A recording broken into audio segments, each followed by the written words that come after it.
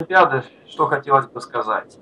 Еще до начала Олимпиады было ясно, что нас не пускают в песочницу. Мы все время хотим играть по тем правилам, которые нам навязывают. До сих пор пытаемся играть по этим же правилам.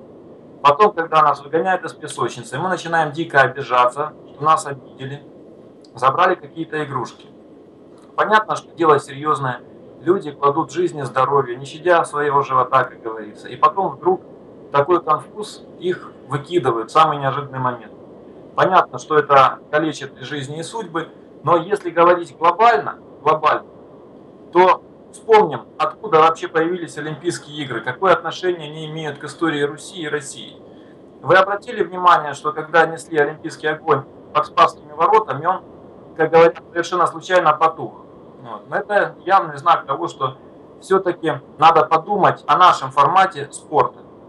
То есть у нас должны быть отработаны свои концепции, которые должны быть выработаны на, на началах соборности, чтобы спорт не разделял людей, а объединял. Поэтому надо делать, значит, нечто свое, параллельное. Не обязательно это будет называться Олимпийскими играми, может быть, чем-то другим. Со временем, не сразу, э, они станут, может быть, и в мировом масштабе, как говорится, вырастут. Поэтому на эти Олимпийские игры с той стороны. А с нашей стороны едут православные русские люди. Естественно, что это элемент гибридной войны. С нами воюют всеми возможными способами и средствами. Поэтому нужно понимать, что в этом ничего удивительного нет, это все глубоко закономерно.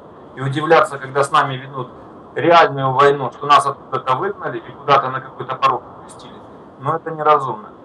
Вот как говорят Ельцин, Ельцин, Аниша, отойди. Или на какой-то саммит он сдал Сербию.